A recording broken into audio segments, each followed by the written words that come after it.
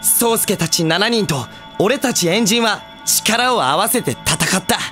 さらに炎衆も戦いに参加しついに雷剣極丸マキを倒したんで。ところがマキは巨大な怪物になって復活したんや。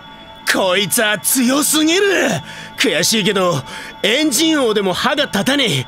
まさに絶対絶命。でも俺たちのエンジン合体を見た列高はエンジンと人が心を合わせることでより強くなれることを知った。そこで最後の力を振り絞って宗介の心と一つになったんや。